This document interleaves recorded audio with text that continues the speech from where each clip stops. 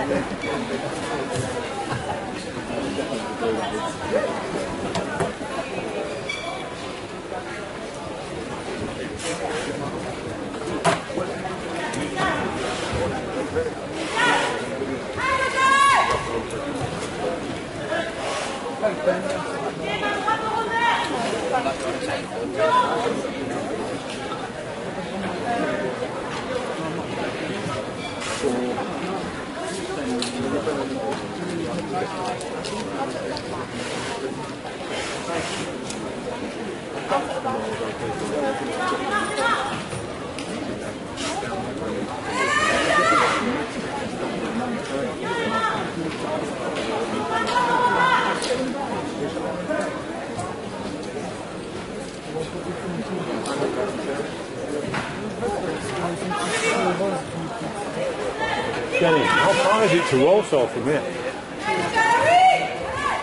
Because it's 250 miles from my house. I thought about going back up M40 and over on M42. Yeah, I would, I would do that. Will you? Instead of M1 and round M25. Can't do that. The 250 odd miles coming down. So it's back out towards Heathrow, the other way, Yeah, it's all cheaper. and then up the M40. There's no roadworks road, is there? Not in the.